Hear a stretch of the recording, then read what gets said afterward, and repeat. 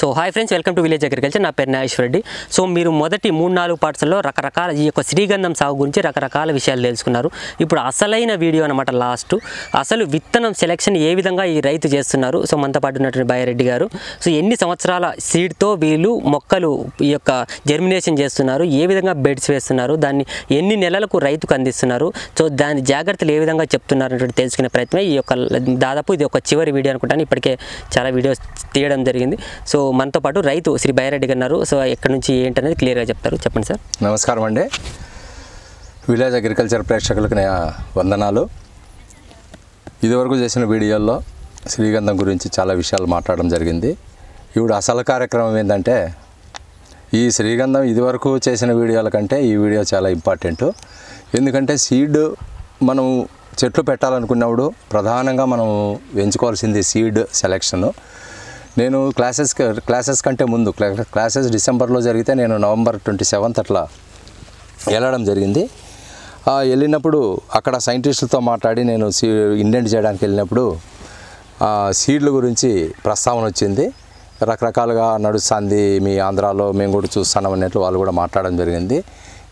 కాకపోతే ఏంటంటే ఇక్కడ సీడ్లు ఎటువంటి వయసు ఉన్న మొక్కల నుంచి కలెక్ట్ చేయాలి. ఎటువంటి మొక్క కలెక్ట్ చేస్తే మనకు గ్యారంటీగా శాండల్వుడ్ ఫార్మేషన్ అనేది వస్తుంది అనే దానిపైన చాలా క్లారిటీగా మాట్లాడగలం జరిగింది.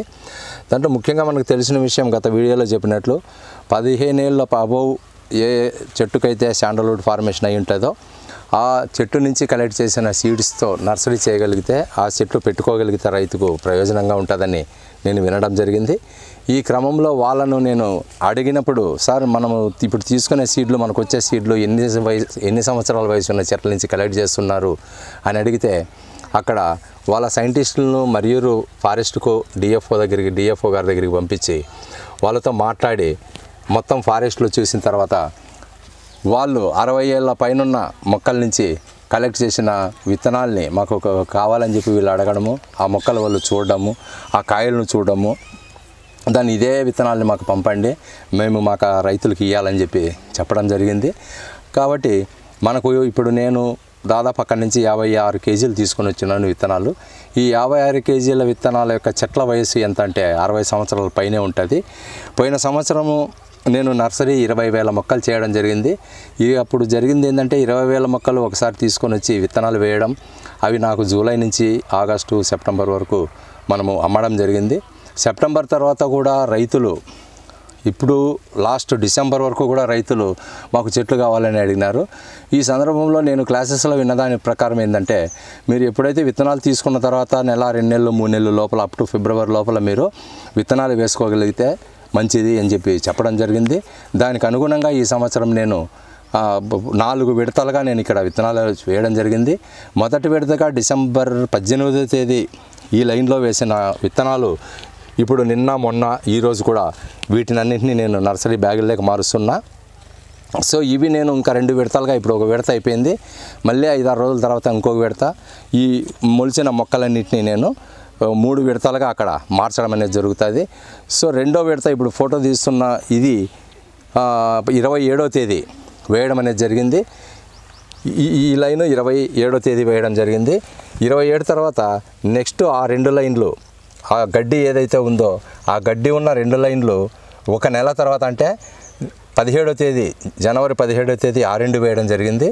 నాలుగో వేడతామన్న పదమూడో తేదీ ఇంకో చోట వేసాము కాబట్టి ఏంటంటే ఇప్పుడు ఇక్కడ గ్యాప్ ఎందుకు తీసుకున్నానంటే రెండు సమస్యలు ఉన్నాయి ఇక్కడ.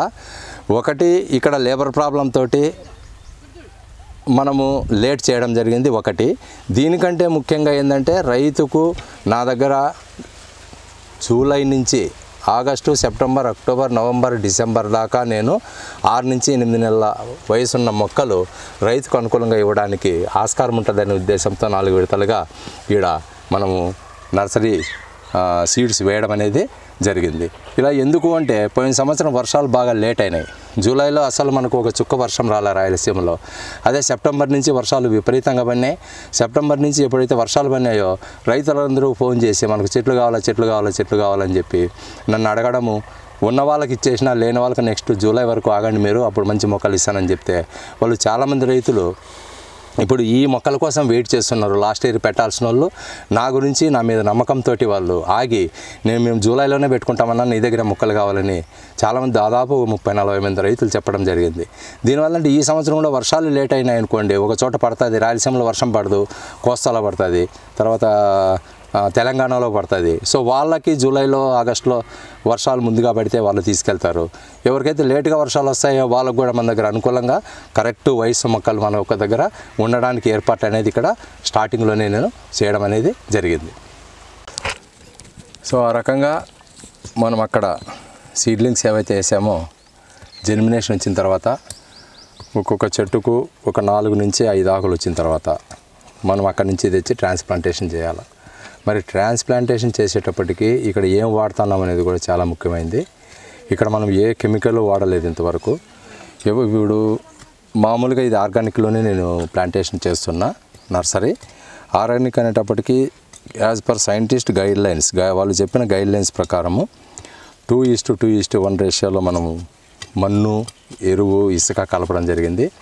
రెండు పాలు ఇసుక ఒక రెండు పాలు మట్టి ఒక పాలు ఎరువు వేసుకొని దాంట్లో వేపపిండి కూడా కలిపి వేపపిండితో పాటు ప్రిపేర్ చేసుకున్న ట్రైకోడెర్మాను కూడా కలిపి నేను ఇక్కడ ప్లాంటేషన్ చేస్తున్నా. ఈ ప్లాంట్స్ ఎదిగే క్రమంలో ఎక్కడే కానీ మనము కెమికల్స్ వాడము. ఓన్లీ ఆయుర్వే ఆర్గానిక్గా ఏదేది అవసరమో దాన్ని మాత్రమే వాడి ఆ రకంగా మనం వేపపిండి తర్వాత గానుగు పిండి చెక్క ఇట్లాంటివి వాడుకుంటా. అవసరమైతే నీమాయిలు ఇట్లాంటివి స్ప్రే చేసుకుంటా. మనం దీనిని డెవలప్ చేస్తాము. ఈ తిథిలో ఏమైనా డ్యామేజ్ అయిన చెట్లను కూడా తీసి పక్కన పడేసి దీనిలో నుంచినే మనం ప్లాంట్స్ని ఆర్గానిక్ క్రమంలోనే గ్రో చేస్తున్నా. సో ఇప్పుడు కలిపిన ఈ కడుపు కలుపుతున్న ఈ పాటింగ్ మిక్చర్ అంతా మామూలుగా నేను చెప్పిన క్రమంలోనే కలుపుతున్నాం. మరి ప్లాంటేషన్ అనేది రీప్లాంటేషన్ ట్రాన్స్ప్లాంటేషన్ అనేది ఆ రకంగా మనం చేస్తూ ఈ మొత్తం నర్సరీలో నింపాలనే ప్రయత్నం చేస్తున్నాం. వీలైనంత వరకు ఆరోగ్యకరంగా ఉన్న మొక్కల్ని రైతుకి ఇవ్వాలనే ఉద్దేశంతోనే మనము ఈ రకంగా గ్రో చేయడం జరిగింది. ఇదే మొక్కని ఎనిమిది ఇంచులు వచ్చే మొక్కని అదే టయానికి ఆరు నెలల లోపల రెండు అడుగులు పెరగడానికి కూడా మార్గాలు ఉన్నాయి. ఎప్పుడైతే మనం డిఏపీలు పొటాషులు ప్లాంట్ గ్రోత్ హార్మోన్స్ మనం ఏదైనా వేస్తే ఇమ్మీడియట్గా గ్రోత్ అనేది వస్తుంది. కానీ ఆ రకంగా ఇక్కడ వేసి పెంచితే చాలా ఆరోగ్య కనప కనపడుతుంది కానీ రేపు రొద్దునే తీసుకుపోయి రైతు తీసుకుపోయి ప్లాంటేషన్ చేసినాడంటే అక్కడ చెట్టు బతుకుతుందో చస్తుందో కూడా ఎవరికి తెలియదు. సో ఇది వరకు నేను లాస్ట్ ఇయర్ అమ్మిన వాటిలో మ్యాక్సిమం మనకు మార్టాలిటీ చాలా బాగా వచ్చింది ninety five ninety ninety above ఉన్నాయి. ఎవరే కానీ మాకు చెట్లు ఎక్కువ చనిపోయినాయనే కంప్లైంట్ లేదు. చెట్లు బాగున్నాయనే మనకు మెసేజ్లు వస్తున్నాయి. అప్పుడప్పుడు మా నాతో తీసుకెళ్ళిన రైతులు నాతో మాట్లాడుతున్నారు. వాళ్ళకు సంబంధించి ఎక్స్పీరియన్సెస్ కానీ తెగుళ్ళు కానీ మొత్తంగా నన్ను అడుగుతున్నారు. వాటికి సంబంధించి నేను క్లారిఫై చేస్తున్నా. ఏమైనా మొక్కలు చచ్చినాయంటే ఒక ఐదు వందల మొక్కలు తీసుకుపోయినాయని కూడా ఉండే ఒక ఇరవై ఇరవై ఐదు మొక్కలు చనిపోయిండొచ్చు అన్న అనే ఆన్సర్ నాకు వస్తుంది కాబట్టి నేను పోయినసారి బాగానే చేసిన అనుకుంటున్నా. ఈ సంవత్సరం అంతకంటే టెక్నిక్స్ పాటించి ఇంకా మంచిగా ఇదివరకు ట్రైకోడర్మా విరిడ్ అనేది నేను చేయలేదు. ఈ సంవత్సరం అదే పనిగా సైంటిస్టులను అడిగి న్యాచురల్ వేలో చేయాలనే ఉద్దేశంతో వాళ్ళను వాళ్ళ నర్సరీ యొక్క మెయింటైన్ చేసే వాళ్ళని పోయి అడిగి వాళ్ళ ద్వారాన్ని రిటర్న్ మూలకంగా రాసుకొని ఆ ప్రకారం ఈసారి ఫాలో అవుతా నేను దాన్ని ఈ సంవత్సరం బాగా చెట్లు ఆరోగ్యంగా తీసుకురావాలనే ప్రయత్నంలో నేను ఉన్నాను. నేను సక్సెస్ అవుతానని కూడా మనస్ఫూర్తిగా అనుకుంటూ ఈ యొక్క ఎప్పుడు ఏ ఏ నెలలో మీ ఈ నర్సరీ నుంచి మొక్కలు వస్తాయి? రైతులకు అందించగలరు? జూలై జూలై ఫస్ట్ నుంచి జూన్ మేబీ జూన్ ఫిఫ్టీన్త్ పైన వర్షాలు పడినాయి అనుకుంటే జూన్ ఫిఫ్టీన్త్ తర్వాత తీసుకోవచ్చు. లేదు జూలై ఫస్ట్ వీక్ నుంచి గ్యారంటీగా రైతులు అనేది నా దగ్గర మొక్కలు తీసుకెళ్ళడానికి ఆస్కారం ఉంటుంది. నా దగ్గర మొక్కలు కావాలా నా సలహాలు కావాలనుకునే వాళ్ళు ఫిబ్రవరి ఆఖరిలో నాకు ఫోన్ చేస్తే మార్చి నెలలో నేను మొత్తంగా అందుబాటులో ఉంటాయి ఇక్కడే నర్సరీలో. ఎవరైనా ఫోన్ చేసి వచ్చి నా దగ్గర సలహాలు తీసుకొని మీకు మొక్కలు కావాలనుకుంటే ఇండెంట్ చేసుకోండి. మీకు మొక్కలు లేదులే మేము ఆలోచన చేసుకుంటామంటే నా సలహాలు విని వెళ్ళిపోండి ఏం పర్లేదు.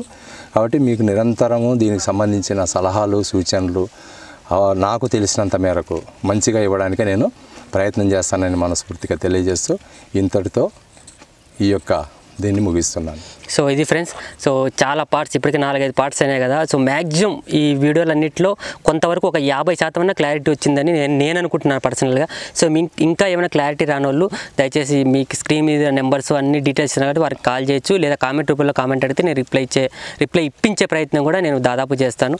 సో ఈ మ్యాక్సిమం కవర్ చేశాను అనుకుంటున్నా. ఏమైనా తప్పులు ఉంటే మన్నించండి. సాధ్యమైనంత వరకు వారు సైంటిస్టులు తెలుసుకున్నటువంటిది నేను కొంతవరకు గ్రహించినటువంటి స- వాస్తవాల్ని మీ చేశాము. సో నాకు నేను ఎప్పుడు నా ఛానల్లో వాస్తవాలు మాత్రమే చెప్తాను. సో అందులో భాగంగానే వీలైనంత వరకు వరకు వారు వాస్తవాలు చెప్పారని నేను అనుకుంటున్నాను. సో మీకు ఏమైనా అనిపించకపోతే కింద కామెంట్లో కామెంట్ చేయండి. Thank you for watching this video రైతు బాగుపడాలి. జై హింద్ జై రైతన్న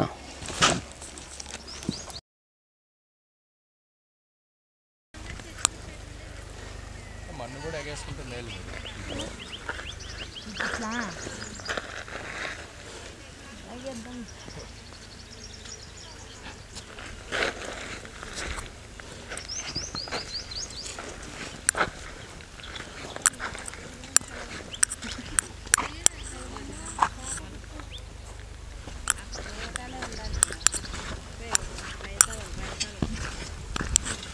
ఎట్లా పెడతారని ఊరికి అట్లా?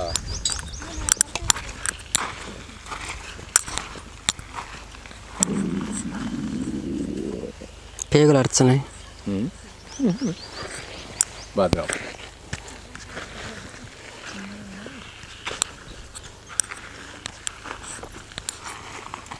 ఇలాంటి బాగా కనపడాలి యూట్యూబ్లో మొహాలు.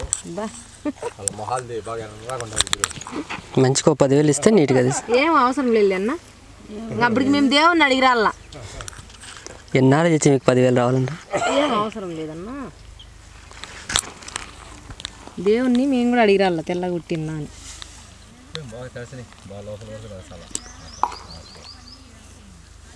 కింద ట్యామ్ లేదనుకో వాడిపోతుంది.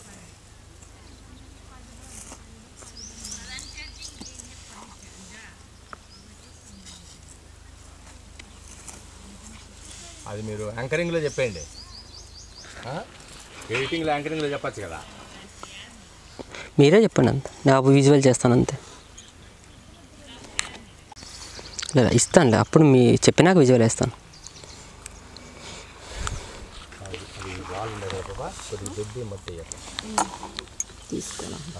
మట్టి మట్టి అన్నీ అట్లా. వాళ్ళకుండా మీరు అవి వేసుకుంటే సరుగుడు మొక్క వేరే వాళ్ళు వేస్తారు.